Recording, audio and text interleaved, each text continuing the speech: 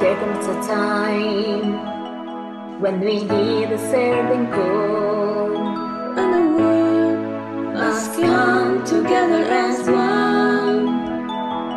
There are people dying, and it's time to learn how to life. The greatest gift of all. We can go on pretending day by day.